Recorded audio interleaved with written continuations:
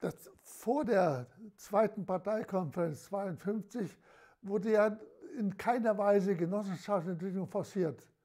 Es ging immer darum, die Bauern zu unterstützen, die, die Bauernwirtschaften zu fördern, zu stabilisieren. Mit der Entscheidung Schaffung der Grundlagen des Sozialismus, zweite Parteikonferenz 1952, wurde die Möglichkeit geschaffen, Genossenschaften zu entwickeln. Also ich würde sagen, es war eine Entscheidung auf der Grundlage der äh, Erkenntnisse der Klassiker des Marxismus-Leninismus und auch der Erfahrungen der Sowjetunion, die man versucht hat, dann in der DDR umzusetzen. Allerdings mit starken Differenzierungen zur Sowjetunion. Die, also mit der Genossenschaftsentwicklung waren das Vieh und die Geräte einzubringen in die Genossenschaft, zur genossenschaftlichen Bewirtschaftung.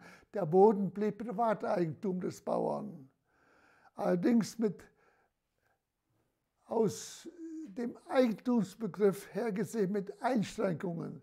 Der Boden durfte nicht verpachtet, nicht belastet, nicht verkauft werden. Man wollte damit Spekulationen von vornherein den Riegel vorschieben.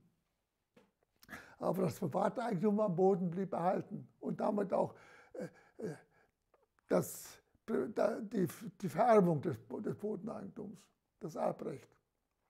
Das Problem bestand ja darin, dass es keinen Bodenmarkt gab in der Form, einen, keinen kapitalistischen Bodenmarkt. Der Boden war ja Privateigentum, konnte aber kaum verkauft werden. Es gab kein Interesse am Bodenkauf, weil man mit dem Boden nicht spekulieren konnte.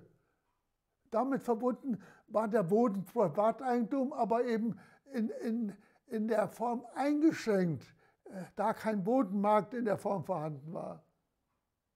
Es gab ja, auf dem, es gab ja Bodenanteile. Äh, es wurde einmal äh, die Vergütung des Bauern ging nach der Leistung, die er gebracht hat.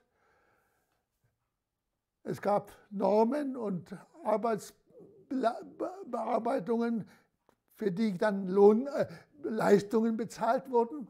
Und dazu gab es dann die Bodenanteile. Das heißt, ein Anteil des erwirtschafteten Gewinns wurde als Bodenanteil an den Bodeneigentümer über, übergeben. Damit hatte natürlich der Bodeneigentümer Vorteile.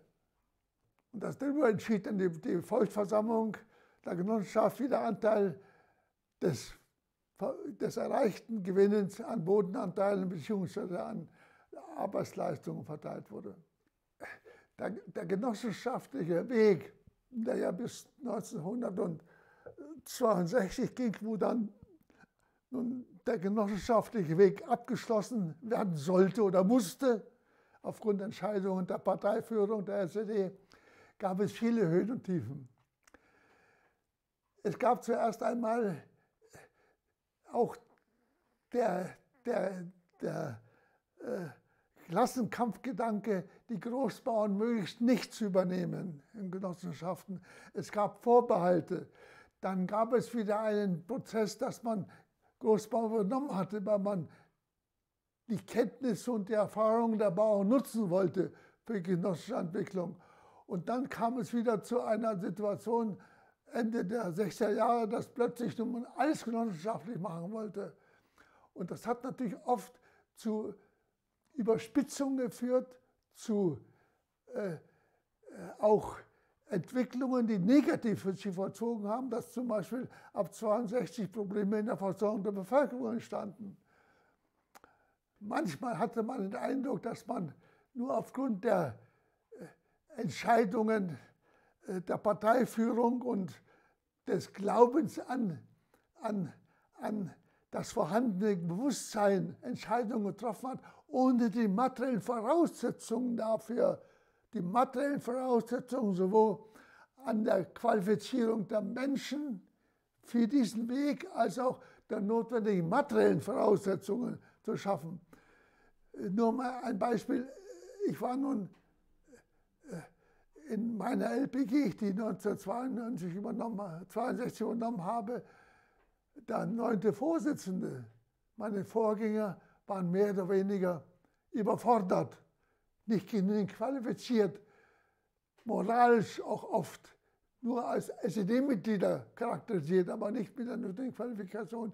Und damit ist, habe ich den Eindruck, dass eben der Voluntarismus in vielen Fällen dann den, den, den, den Ausschlag gab. Wir wollen vorwärts gehen, ohne die notwendigen Voraussetzungen zu schaffen.